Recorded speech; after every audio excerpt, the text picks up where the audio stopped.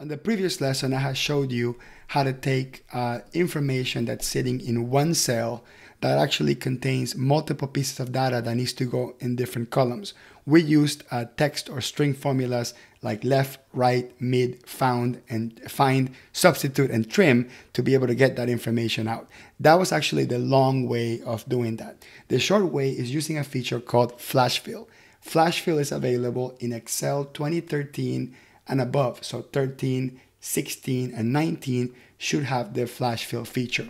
So what we're gonna do is I'm gonna create the three columns here, date, description, and amount. Okay, I'm gonna expand the columns here so they have enough space to be able to have the information that I want in there.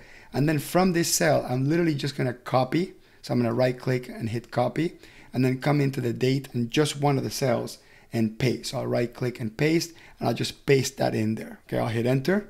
Excel detects that as a date. So I'm going to select the entire column here and change this into a short date formatting. That way we're seeing the full date string. So on top of uh, bringing the date over on the copy and paste, it also fixed the formatting. If I were to click and drag this down on the autofill, this wouldn't work because it'll basically just bring in a sequential a bunch of dates. So I'm gonna hit undo because I'm gonna show you something different.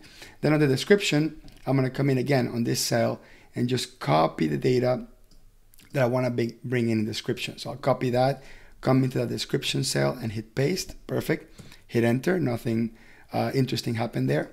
And then I'll come in here and copy over the numerical value, copy that, and then I'll paste that into amount. So if I had to come in here and copy and paste each one, it will take forever.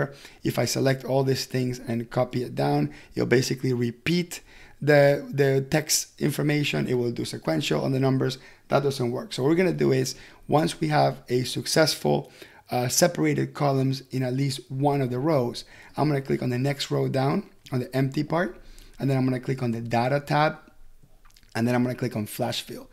Get ready, this will blow your mind. So I'm going to click flash fill and it does it automatically. Go to the next one, click on flash fill.